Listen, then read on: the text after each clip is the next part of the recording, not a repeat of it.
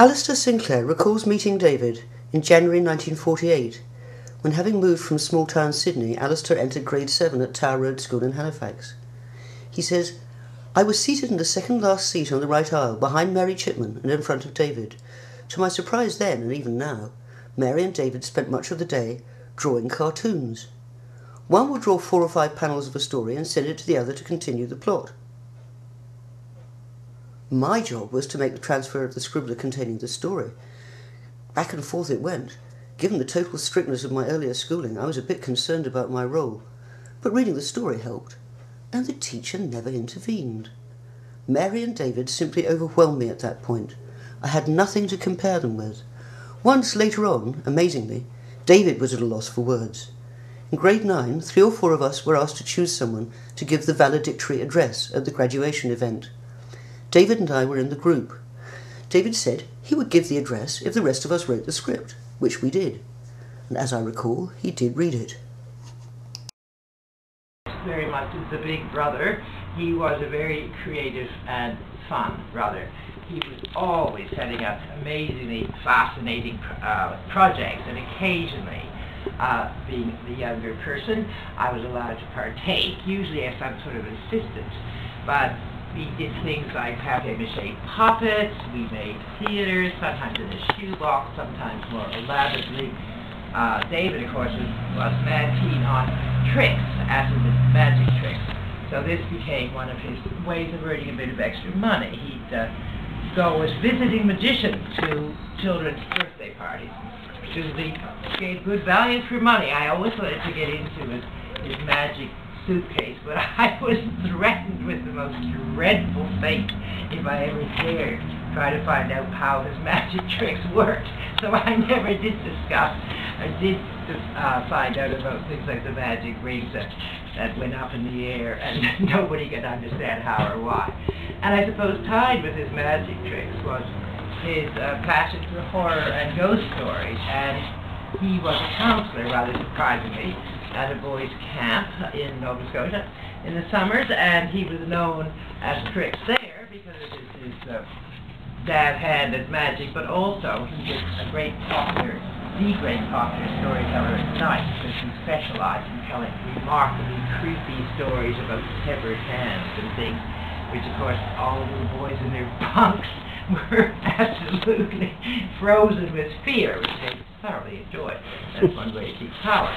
So yes, as Big Brothers go, he was a very good Big Brother, and, and the whole uh, so-called electric railway room in the basement was actually turned into his creative cauldron. And we had everything from chemistry experiments with odd uh, liquids. I never knew what they were, but they usually made some remarkable effect. And all these other things went on, theater things and puppet things, and oh yes, of course, we all had to have our astronomy lessons when the weather was good, we lie in the lawn on our backs, and David was explain all about the stars and the planets. So uh, I cannot complain about having uh, a heavy-handed or distant older brother. I'm very grateful for the amount of uh, creativity and fun that he uh, very much placed center stage in my childhood.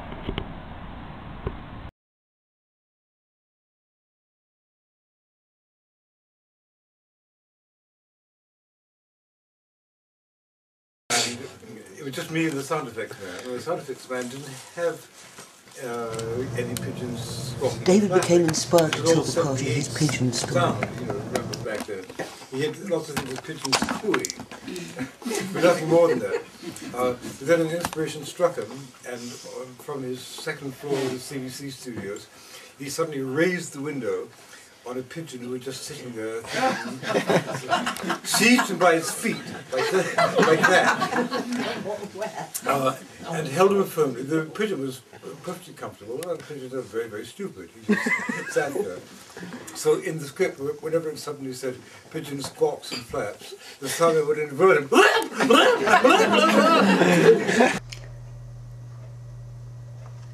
I first met David when we represented our respective schools in the finals of a radio quiz program in Halifax, Nova Scotia.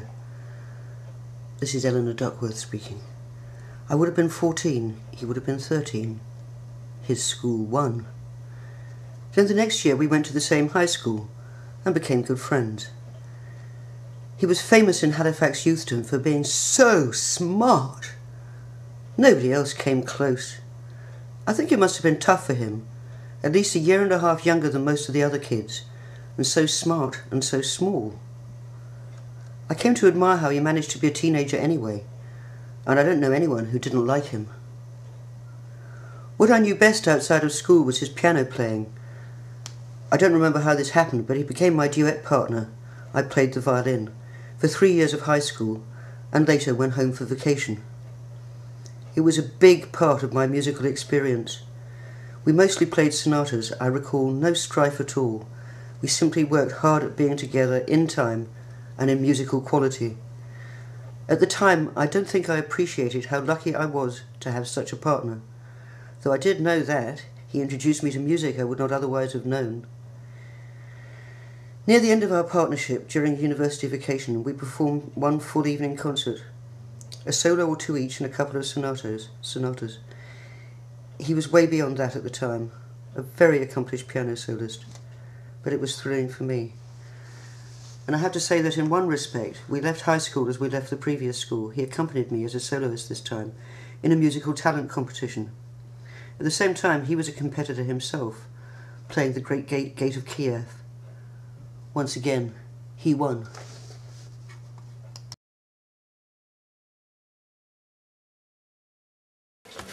Judith Keyston. That's right, isn't it? Yep. David was clearly a sort of thing apart from the local high school gang. he even dressed and applied stage makeup very cleverly to impersonate Ravel at a fancy dress party. I was probably the only one to spot the resemblance, having looked up this Ravel man in my Percy Scholes. Um, he was inclined to stand rather awkwardly on his own at student parties when I first knew him, apparently scanning the bookshelves and finding nothing very interesting. Later on, after becoming more familiar, especially following his memorably fine acting and directing of student drama, often avant garde French plays, of course, he became more dynamic in such gatherings. I leave out the colourful details. okay, the next missive is from uh, Carol Sinclair. I first met David through the Glee Club at Dalhousie. It was due to him that we produced plays such as The, the Little Foxes and Arsenic and Old Lace instead of Shakespeare. He was unforgettable as the mad Jonathan Brewster in Arsenic. I also remember him giving elaborate farewells and thank yous to the hosts at cast parties so that everybody would leave and come back in to play charades with a few select friends. Mm-hmm.